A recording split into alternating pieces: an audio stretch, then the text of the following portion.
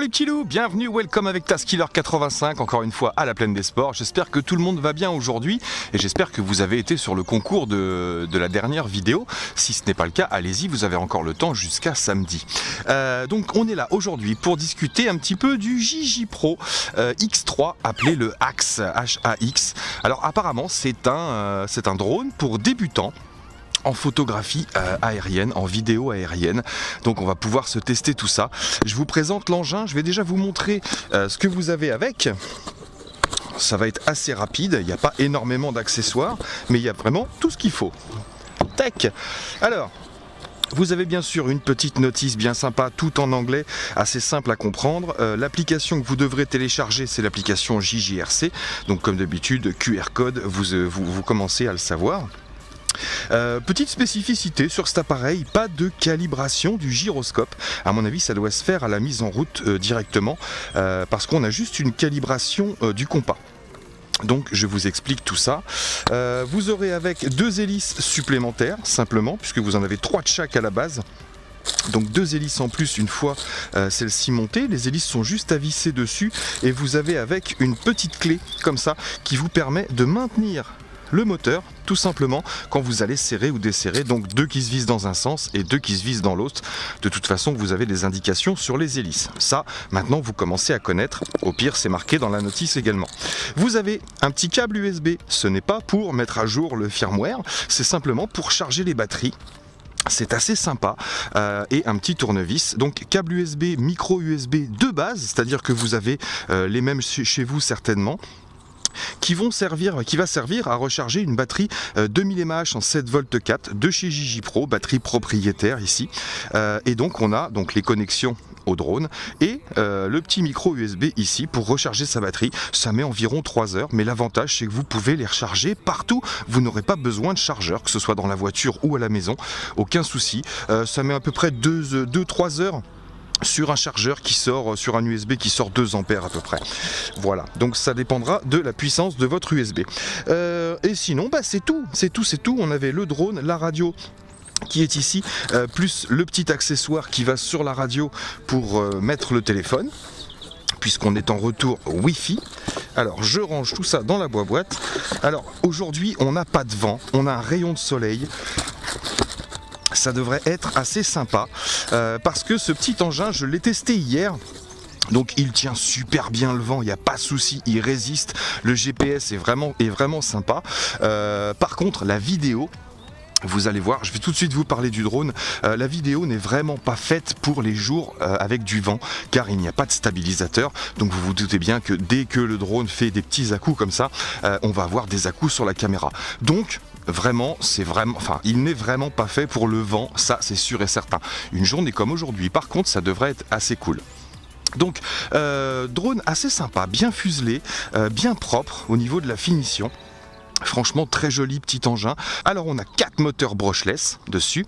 On a des indications lumineuses à l'avant et à l'arrière. Donc l'avant euh, généralement bleu qui vous signifie que le drone est prêt à décoller en bleu fixe. Si ça clignote, c'est qu'il y a une calibration à faire. Et l'arrière est vert euh, pour vous signaler l'état du drone, si il est prêt à voler en, mode GPS ou en mode normal, en mode juste maintien d'altitude, euh, qui est fait plus pour moi pour le vol en indoor. Hein? Attention au vol avec maintien d'altitude parce que le GPS ne fonctionne plus et vous ne pouvez pas revenir en GPS quand vous êtes en maintien d'altitude. On va en parler.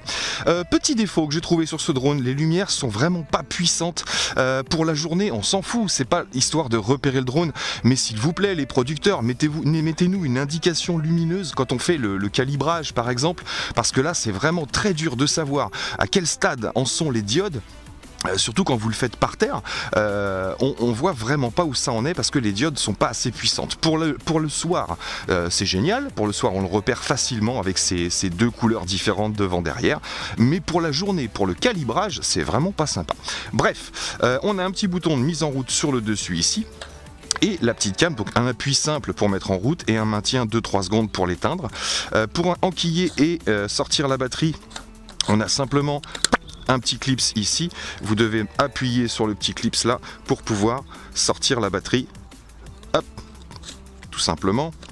hop, on va la renquiller. Et pour euh, la caméra, c'est le même principe. On appuie sur le bouton ici et on pousse la caméra qui sortira toute seule.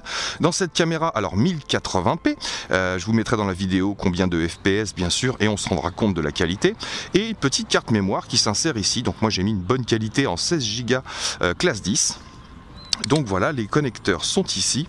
C'est tout simple, vous l'enquillez vers l'avant.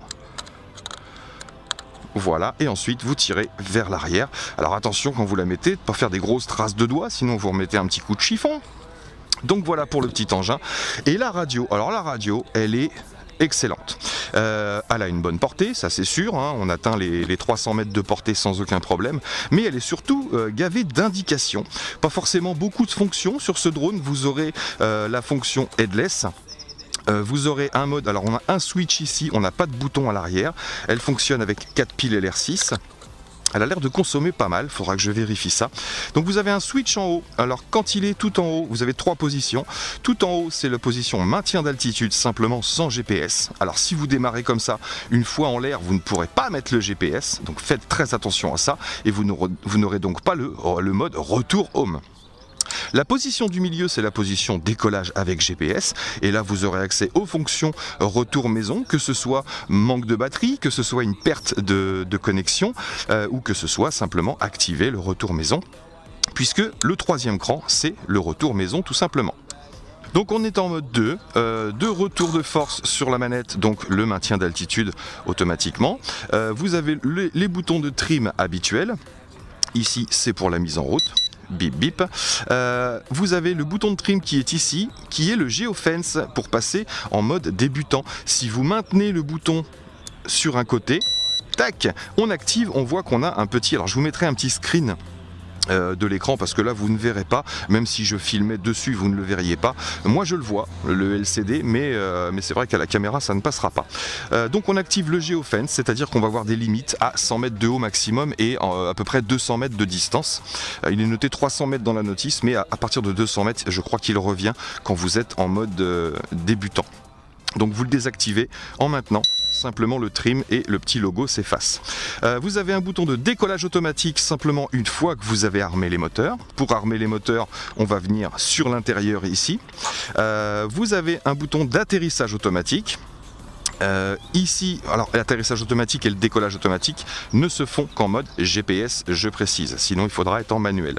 Mode headless ici, alors le headless mode, comme je vous disais, il n'y a pas de calibrage au départ pour le gyro et pour l'orientation, le headless mode, euh, quand vous allez le déclencher, ça va être par rapport à l'orientation du drone.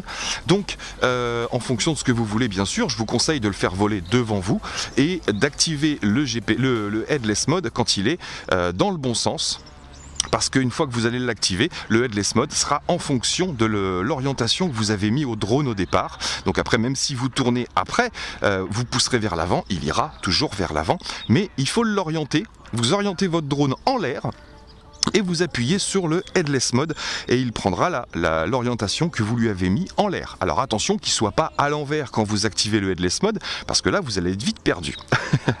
On a un bouton photo, un bouton vidéo, où là on va enregistrer directement sur la carte mémoire et un bouton vitesse. On aura deux vitesses ici et ce sera indiqué sur l'écran low ou high tout simplement.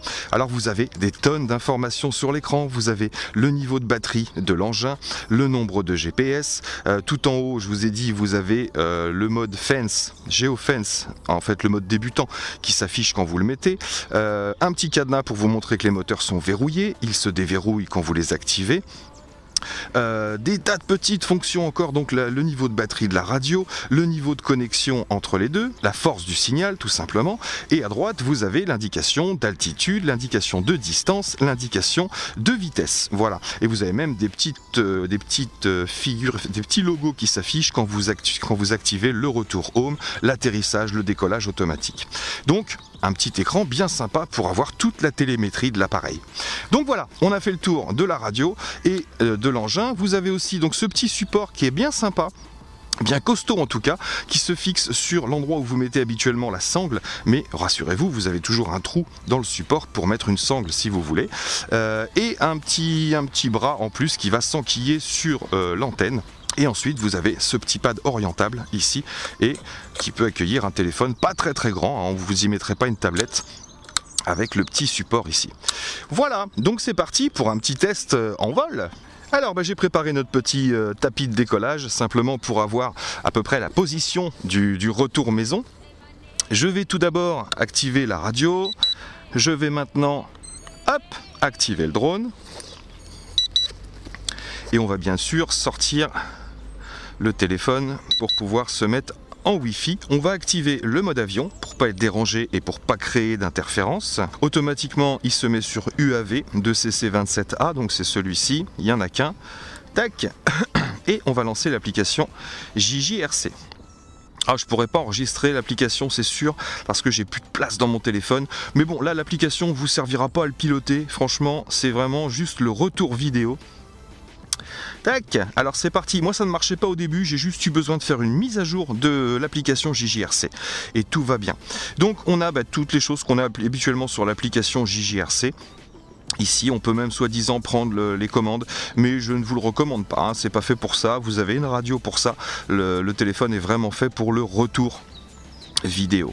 Voilà. Euh, si jamais vous avez l'écran à l'envers, moi ça m'est arrivé, euh, vous venez dans les options, vous faites reverse d'écran et vous aurez tout dans le bon sens. Tac. Oui, il y en a qui vont me dire faut retourner le téléphone. Non, parce que les indications se retrouvent en bas et à l'envers. Donc il faut bien faire renversement d'image. Donc voilà, on est prêt, on est connecté, on a le retour vidéo qui est vraiment propre. Alors qu'on a de la latence, hein, forcément. Vous le verrez pas sur le tac, tac. Vous voyez, je tape. Et ça arrive un petit peu après. Donc on a vraiment de la latence. Ne vous servez pas de ce drone pour faire du FPV, s'il vous plaît. Donc on va tout d'abord lancer une calibration, je vais vous montrer, même si moi j'ai pas besoin forcément de le faire. Donc je vais mettre le stick de gauche tout en bas à gauche et le stick de droite tout en haut à droite, comme ça. Et logiquement, donc on a les lumières bleues devant en fixe et pas de lumière à l'arrière. Donc là il faut simplement faire tourner l'engin. Alors mettez-le à hauteur de la vue pour pouvoir surveiller euh, vos LED parce que hop là voilà ça commence à clignoter. Donc vous tournez.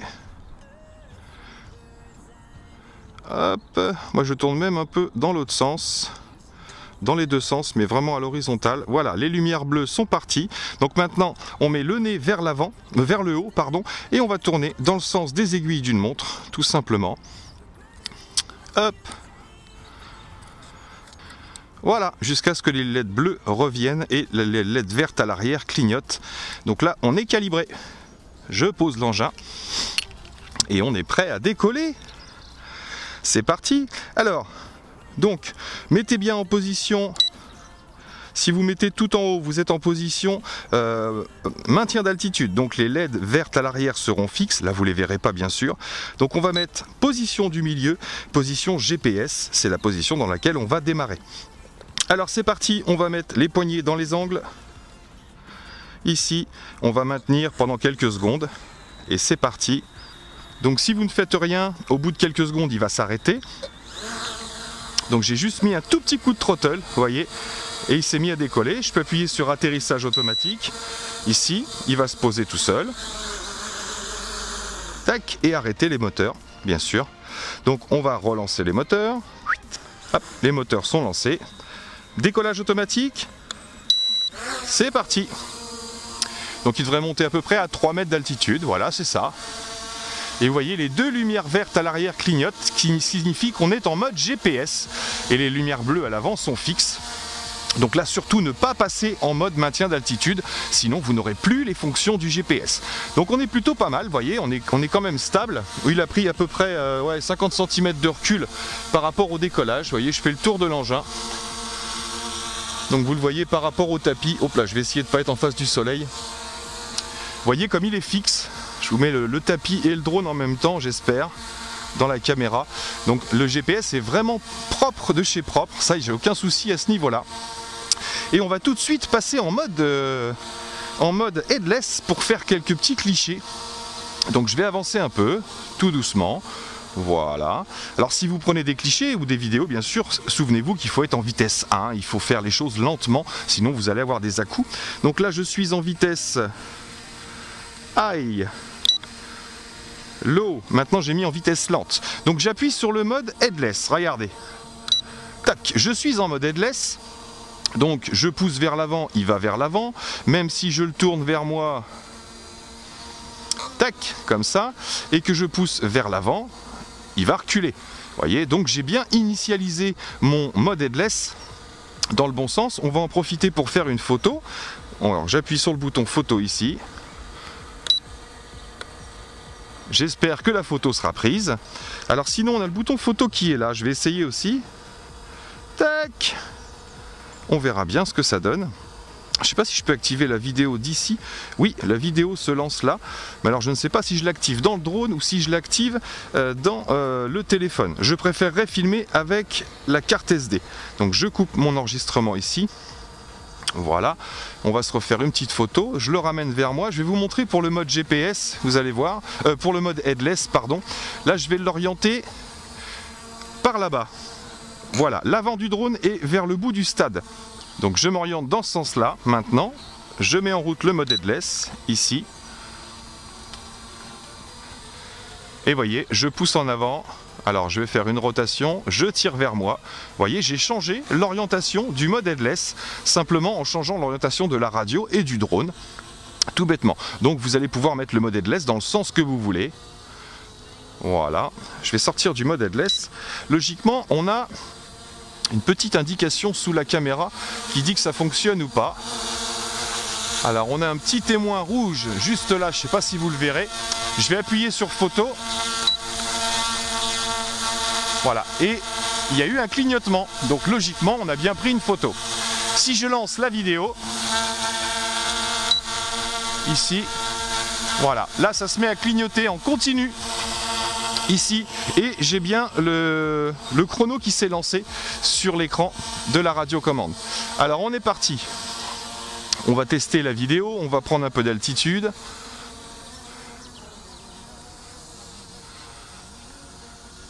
Je vais doucement. Voilà, alors ici je monte pas à plus de 50 mètres à la plaine des sports, hein, vous le savez, je vous l'ai déjà dit. Alors là, nous sommes à 13 mètres d'altitude, et à 4 mètres de distance du point de départ. Alors on va se faire un petit panoramique tranquillement pour se rendre compte de la qualité des images. Donc ça bouge un peu, forcément, il n'y a pas de stabilisateur, il n'y a pas de nacelle.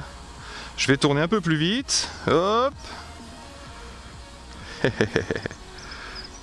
Donc voilà, on est orienté là-bas et on va aller faire un tour dans le fond du terrain là-bas. Tout simplement. Donc l'écran peut vous aider à vous orienter, hein, bien sûr, mais il n'est pas fait pour faire du FPV, je vous l'ai déjà dit. Hein. Alors est-ce que j'ai le geofence d'activer? Non, je vais l'activer.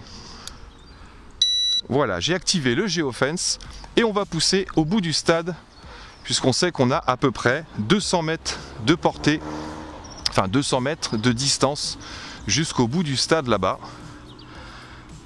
Donc on atteint là le premier but, on passe au-dessus. Il continue à avancer. Ah, alors là, vous voyez, j'ai commencé à perdre la connexion du Wi-Fi. Euh, je suis à 171 mètres de distance et, je ne le vois plus. Tout simplement, je vais prendre un peu de hauteur. Hop, si, ça y est, je le vois apparaître au fond là-bas. Et vous voyez, 171 mètres, c'est vraiment déjà euh, difficile. Alors donc j'ai un freeze sur l'écran. Je n'ai plus l'image, je n'ai plus le retour. Si, j'ai encore le retour, tout à fait. C'est moi qui n'avançais pas. Mais ça lag, ça lag, ça saccade. Là, je suis à 179 mètres. Je vais continuer à pousser en avant. Doucement, 185 mètres. J'ai toujours l'image sur l'écran. Là, je suis au bout du stade. Je suis arrivé aux arbres au bout du stade. Et en géofence, ça ne bouge toujours pas. 248 mètres pour l'instant. Donc je vais faire un retour home, on va tenter. C'est parti. Le switch vers le bas. Alors j'ai un freeze sur l'écran, donc on verra, euh, on verra sur les images du drone. Là je vois qu'il montre, là-bas je le vois. Heureusement, on a un beau ciel bleu, il y aurait des nuages, je ne le verrai pas. Donc quand vous faites un retour home, s'il est à moins de 30 mètres, le drone va monter à 30 mètres automatiquement avant de faire un retour home. Euh, si vous êtes déjà à plus de 30 mètres, le drone va directement revenir vers vous. logiquement. Et j'ai vu hier qu'il revenait assez vite. Voyez, là on le voit là-bas, il est en train de revenir. Donc j'ai activé le retour à 250 mètres. Alors pendant le retour home, vous pouvez toujours le déplacer sans problème. Euh, et vous pouvez reprendre le contrôle juste en replaçant en mode GPS. Regardez la, vitesse à laquelle il revient. Voyez, c'est assez rapide. Donc maintenant on va voir euh, la qualité, la précision. Ah, on voit qu'il se décale. On a l'impression qu'il est en train de chercher, mais d'où je viens et d'où je suis parti. Il faut que je fasse attention au soleil. Ah, c'est marrant, ouais, il a cherché un petit peu son emplacement et là il se met à descendre. Ça y est, le là. Donc j'attends, je ne touche à rien, je ne le déplace pas en l'air. On va voir la, précision. Alors on a bien sûr le témoin de batterie aussi, je vois pas grand chose avec le soleil, 45% de batterie. Le voilà. L'arrière clignote. Bon, on est à peu près à, ah, on est à 2 mètres à peu près. Hein. je vais reprendre le contrôle. Tac, je remets en mode GPS. On est arrivé à oui, 1m50, 2 mètres du tapis à peu près. c'est plutôt correct, ça va. Alors, on va se tester un petit peu la vitesse de l'engin. Je vais pouvoir couper la vidéo. J'aurais peut-être dû voir si je pouvais le retourner pendant le, retour home pour voir ce qu'on filme. Quand même. Ah, il monte assez bien. Hein.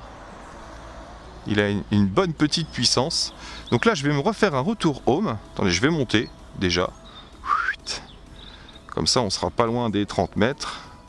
Alors, je suis à combien? 27 mètres. Ah, c'est pas mal. Allez, je mets en retour home. Tac et là, ah, on voit tout de suite qui s'oriente. Voilà, il rentre. Alors je retourne voir. Oui, oui, je peux retourner le drone. Je peux faire du yo sans problème. La vidéo tourne toujours. Ok. Et donc là, il attaque sa descente. Donc toujours en retour home, je vais le pousser vers l'avant. Voyez, vers l'arrière. Ok et je le déplace sur les côtés. Mais il est toujours en retour home, c'est-à-dire qu'il descend. Voilà, donc vous pouvez toucher aux bannettes si jamais vous avez besoin de récupérer. Alors la puissance, non. Par contre le throttle, non, vous ne pouvez pas. Vous pouvez le yo, mais pas le throttle. Alors je remets en mode GPS. Donc là on n'est plus forcément au milieu puisque j'ai pas arrêté de le déplacer. Et eh bah ben, écoutez, plutôt pas mal. Donc j'arrête la vidéo en appuyant sur la radio ici, mon chrono s'est arrêté. Donc logiquement, on a sauvegardé la vidéo, on est plutôt pas mal. On va voir ce que ça donne au niveau pilotage. Donc là, je suis en vitesse lente, je suis en low. Donc voilà pour la rotation du lot. Et je vais tout de suite passer en high. Vous voyez, on accélère légèrement. Alors c'est parti pour un peu de pilotage en mode GPS. On va voir si on a un bon maintien d'altitude et une bonne petite vitesse.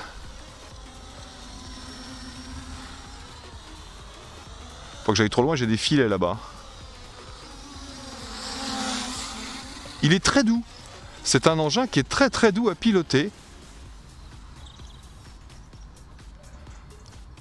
Ah, regardez, j'ai eu une perte de connexion. Pourquoi? Oui, je vois 18% de batterie j'ai eu un bip sur la radio et j'arrive à 18% de batterie. Mais comme je suis en mode GPS, eh ben le drone va faire un retour home directement. Le revoilà. Ah ouais, je suis impressionné par la vitesse du retour home. Il revient super vite euh, et après il cherche son point une fois arrivé. Allez, on va descendre en manuel, ça va aller plus vite, je pense. Je baisse le throttle. Ouais, il descend un peu plus vite un peu moins stable, il descend dans ses propres turbulences. Alors je peux le déplacer encore. Hein. Voilà, je vais le faire bouger. Je préfère descendre en bougeant plutôt que de rester dans les turbulences. Pas de souci. Ok, donc on va le poser, parce que les batteries sont neuves, on va pas trop trop forcer. Je vais venir au-dessus du tapis, gentiment, tac, et atterrissage automatique, pourquoi pas. C'est parti et je le dirige bien sûr pour tomber dans le H. Yay, j'ai gagné Allez, je le redémarre. Ouais, ça redémarre. Il me reste à peu près combien? 20% de batterie, 25% de batterie. Je vais quand même vous montrer vite fait avec ce qui reste ce que je vous disais au niveau du GPS et du maintien d'altitude. Je vais démarrer en mode GPS. Donc, je fais un décollage automatique. Ça ne fonctionne qu'en mode GPS, rectiligne. Et maintenant, donc là, je suis en GPS, je pousse et dès que je lâche, il se stabilise dès que je lâche, faut que j'articule, je vais passer en mode maintien d'altitude. Tac, le stick vers le haut. Donc là, il n'y a pas de vent, donc il ne bouge pas, il est très stable. On va se faire une petite balade.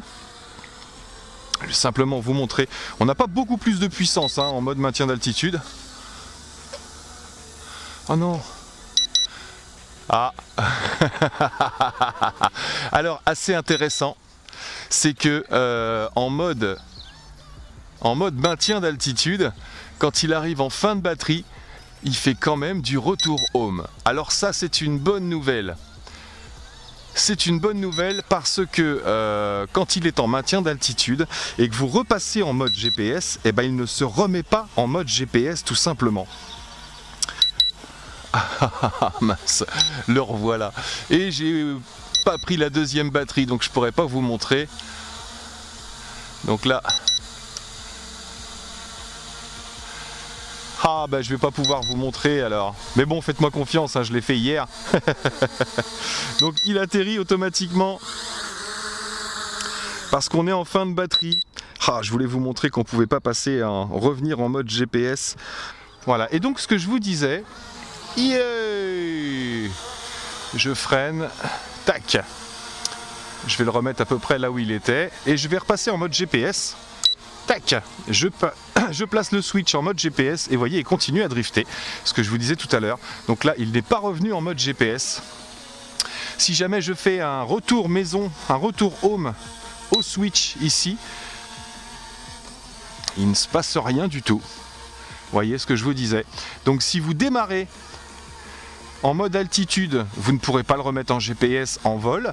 Si vous démarrez en mode GPS et que vous repassez en mode altitude hold en plein vol, vous ne pourrez pas non plus revenir en GPS. Il vous faudra le poser. Alors, est-ce que l'atterrissage automatique fonctionne en mode maintien d'altitude? Non plus, voyez, l'atterrissage automatique ne fonctionne pas non plus, il n'y a qu'en mode GPS. Donc là, je vais le poser, donc je descends gentiment,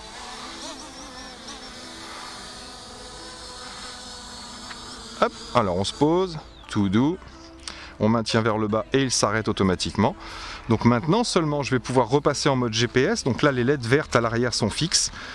Je repasse en mode GPS, les LED se mettent à clignoter et je peux relancer. Donc, donc pensez-y surtout, hein, si vous voulez être en GPS, vous décollez en mode GPS et vous ne mettez pas en mode maintien d'altitude. Vous pouvez mettre en mode retour to home, mais pas en mode maintien d'altitude, sinon vous ne pourrez pas remettre le GPS, sauf si vous vous posez et que vous redécollez. Là, je redécolle et là, je suis bien en mode GPS. Pour preuve, je recule, je lâche et automatiquement, il se fixe tout seul et les lumières vertes à l'arrière clignotent. Voilà, donc c'est important à savoir quand même. Hein. parce que si vous voulez le retour maison, alors on sait maintenant que le retour maison il fonctionne quand même arrivé en fin de batterie. Euh, bizarrement, il, se remet quand même en mode, il se remet en mode GPS quand on est en fin de batterie. Ça c'est assez sympa. Bon, ben, avant de vous dire au revoir, je vais quand même faire une grosse dédicace à mon ami Didier qui a eu des petits soucis de santé, qui, a des problèmes avec ses yeux et je crois que c'est la personne maintenant la plus attentive à mes vidéos parce qu'il doit être tout près de l'écran pour voir quelque chose à peu près. Donc Didier, je te fais des gros bisous, je te souhaite bon courage en ces périodes de fête de fin d'année, je sais que tu es bien entouré, c'est le principal. Sinon, ben moi, je valide le petit Gigi Pro, je vous souhaite à tous de bonnes fêtes de fin d'année et, et un bon de Noël. Euh, on se revoit quand même samedi, le 23. Euh, je sais pas si je donnerai les résultats le 23, mais en tout cas, le concours s'arrête le 23. Donc je pense que je ferai un petit tirage au sort et la réponse peut-être le lendemain de Noël, juste après, pourquoi pas, quand vous aurez eu vos cadeaux, comme ça il y en aura un supplémentaire. Donc celui-là, il est à gagner, hein, rappelez-vous. Et puis bah peut-être que l'autre aussi, je verrai selon, euh, selon mes envies. Allez, en attendant, portez-vous bien. À très bientôt dans mes vidéos. Ciao, ciao